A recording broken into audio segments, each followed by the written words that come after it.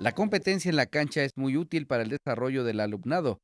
Es el caso del TEC de Monterrey Campus Puebla, comentó el entrenador Luis Alberto Ordóñez Sepúlveda. El plan es eh, trabajar desde las categorías chicas. Nosotros contamos con bachillerato, entonces captamos a la mayoría de jugadoras posibles que tengan el perfil académico y deportivo y de ahí, pues bueno, darles la secuencia necesaria con un equipo técnico.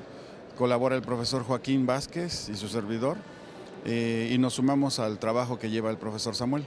En el renglón del prototipo de jugador que se busca en el TEC, Ordóñez Sepúlveda dijo. El perfil debe de ser académico, debe de ser deportivo, deben de ser muy buenas estudiantes, pero obviamente que tengan facultades deportivas y si se combinan esas dos cosas y tienen el estereotipo de una jugadora de boli, estamos tratando de que suba la estatura, de que se mantengan en un peso acorde para prevenir lesiones y que les permita tener un buen desarrollo.